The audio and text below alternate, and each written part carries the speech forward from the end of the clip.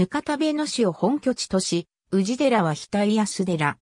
同時に伝えられた、大和国ぬかた寺伽藍並上里図は、現存する数少ない奈良時代の荘園絵図であるが、ぬかた寺の伽藍や事業を中心とする景観を描いており、8世紀にぬかた寺を宇治寺として信仰していたぬかたべの氏が、同時に古墳を一族の先祖馬鹿として祀っていたことも伺うことができる。ぬかたべの神は733年の陰一書。八内の里の中にあり、軍家の正北11里120歩。宋の塔を根流通。宋一区あり。前の少な領、ぬかたべの神、押島の作るところなり。今の少な領いさっびが、重府系なり。とあり、大原郡の中心である八内の里には、全省領である、ぬかたべの神神、日置武神、勝部神、大和門武神など、神の姓を持つ者が多いが、これは、出雲神の同族が、それぞれの地域の部民の管理者となり、お店を名乗ったからである。以下の考古学上の発見も、士族性、部民性の起源や、出雲と大和の関係を考える上でより重要である。1983年1月8日、元号自文化財研究所に預けられてあった松江市大草町にある岡田山1号墳から出土した遺物の保存修理中、X 線撮影によって鉄塔の頭身部に12文字分の銀象眼の名文があることが発見された。この古墳は、国画の遺跡のある西約 1km の地点に存在し、出雲国町や大軍家に近いところに存在する。1915年に盗掘されており、上述の鉄塔もこの時発見されたものである。石棺の西側に接し、板定石を組み合わせた追走用の施設の中に収められてあったという。同時に出土したものとして、長子孫名の内向家門橋や三本の太刀、通す、鉄属、近藤丸玉、バグ類、須液などがある。また、1970年の調査で、墳丘上から多数の円筒埴輪片と小持壺が認められた。出土当時の太刀は完全なものであったが、後に刀身の半分が失われ、名文も末尾の12文字が残っているに過ぎず、サビも進んで解読可能な文字が少なくなってきている。その名文は以下の通りである。各伝説神祖代理、各伝説神は、ぬかたべの神、ぬかたべの海を指すものであるとみられる。前日の出雲国風土記にあるように、ぬかたべの神は、大原郡の豪族と見ることができるが、出雲神一族の中には、姓を共通にし、死の異なる武神の死が稀ではなく、他には、竹部神、勝部神、吉備武神などが存在することが判明している。そこから、ぬかたべの神は、出雲神氏の一族として、恩軍を本拠地としたと考えることも可能である。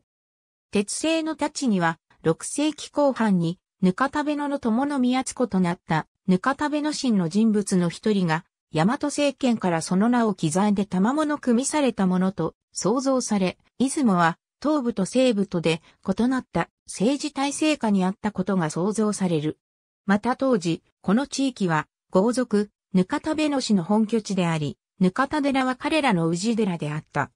本図には、船穂、ぬかたべの少ね先祖と中記されているものをはじめ多くの墓が描かれているが、それらは現在も現地で確認することができ、5から7世紀の古墳であることが知られている。本図からは、8世紀当時、ぬかた寺を氏寺として信仰していたぬかたべの氏が、同時に古墳を一族の先祖馬鹿として祀っていたことを読み取ることができる。この本図からも、古墳から氏寺へという氏族の信仰対象の変化、また一族結集の場の多様性を伺うことができる。出雲国にはぬかたぶ種子や無性のぬかたべの死も分布していたという。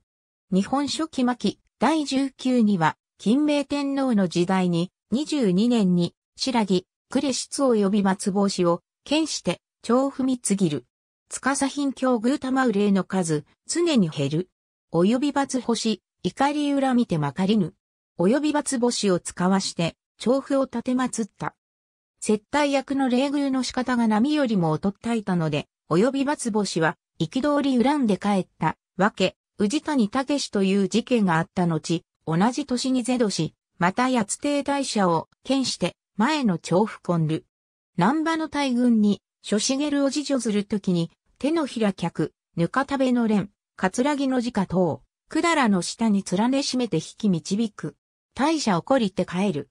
感謝には入らずして、船に乗りて、あなとに帰りいたりぬ。王を使わして、また前の調布を立て祀った。南波の大軍に諸国の使者を案内するときに、接待役のぬか食べの連、桂木正は腹を立てて帰った。各社に入らず、船に乗って、アナトに帰り着いた。わけ、宇治谷武となっている。これが、文献上のぬか食べの氏の書出である。金明天皇は、水古天皇の父親にあたり、水古天皇は、金明天皇15年生まれであり、ぬか食べのが、水古天皇の名城だとすると、すでに、ぬか食べの氏は、ぬか食べのの干渉を行っていたことになり、符合する。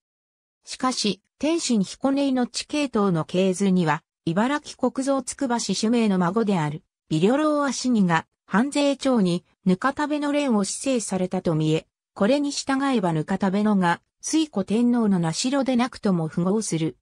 この一年後、白木は、三間の三宅を打ち滅ぼした、とある。また、初期巻、第22、随所によると、608年、水古天皇の時代に、ぬか食べの連ヒラフが、隋の大使、廃生生らを津場市に出迎えて、例の字を述べている。ぬか食べのヒラフは、610年にも白木、三間の詩人を歓迎し、柏出の大友の長を務めている。翌611年には、歌野の薬狩りの際に、粟田西木神と共に武領には、ぬか食べの連追が法頭になっている。ぬか食べの連一族は、天武天皇の時、684年に発色のせいで、少ぬ姓を得ている。また、俗に本気巻き、第一によると、子孫と見られる、ぬか食べの連林がが、大法律令の返済に参加している。俗に本気巻き、第13によると、740年の藤原広次の乱の際に、9月21日に、無声の長戸国豊浦郡少量、外、小八条のぬか食べの広島路が精兵40人を率いて、海を渡って九州に上陸していると記載されている。初期巻第14によると、この乱の平定後に自家姓を与えられたらしく、外、小八以上から、外十五石下に少女されたという。彼は、738年に、丹羅島人武領士として、平城系へ向かっており、途中、ス王国を通過している。